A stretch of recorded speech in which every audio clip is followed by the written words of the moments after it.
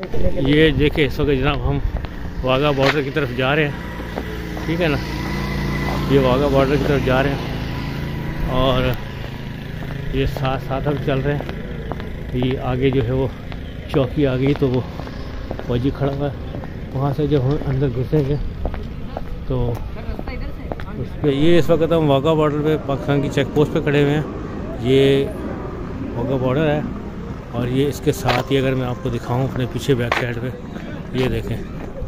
ये मेरे बैक पे ये इंडिया है। ठीक है ना ये इंडिया ये एक बाढ़, ये बाढ़ है, ये पाकिस्तान की बाढ़ है, लेकिन उसके बाद ये आगे इंडिया ये बफर जोन ये एरिया है। तो ये देखें। तो ये समझ लिया हम इस इंडिया के बॉर्डर पर है।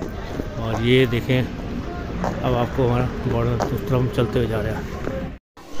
अच्छा जनाब, ये इस वक्त मैं गुजर रहा हूँ इंडिया और पाकिस्तान के बॉर्डर के पास से। और मेरी दूसरी आप देख रहे हैं, वहाँ पे जो है वो इंडिया है और इस तरफ़ ये पाकिस्तान है। और इंडिया में जो है वो आटा इस वक्त जो है वो तीस रुपये किलो है और पाकिस्तान में एक सौ पचास रुपये किलो सिर्फ़ इस बॉर्डर का फ़र्क है, आप देख लें इस बॉर्डर में इतना फ़र्क है। तो इसकी वजह, वजूहत क्या है, आप जान सकते हैं। इसकी वजूहत है हमारे हुक्मरान और हमारे यहाँ की करप्ट हुकूमत। अच्छा ये मेरे बैग पे इस वक्त आप देख रहे हैं, ये पूरी जो मिलिट्री जो हमारे रेंजर्स के लोग हैं यहाँ पे क्याम करते हैं और ये सब इनकी रिहाइश के नज़दीक है।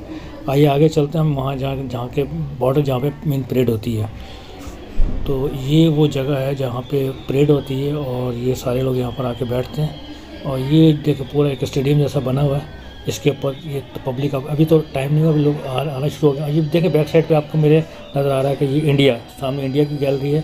और ये जो जिस तरफ़ मैं खड़ा हूँ, ये पाकिस्तान की गलती और दरमियान गेट नज़र आ रहा है आपको, ये गेट है, इसी हिस्से में परेड होगी। और ये सामने ये पाकिस्तान की जो है ये गेट है। और ये देखिए पाकिस्तान का, मिलिट्री का बंदा खड़ा हुआ है, मेरे बैक साइड में।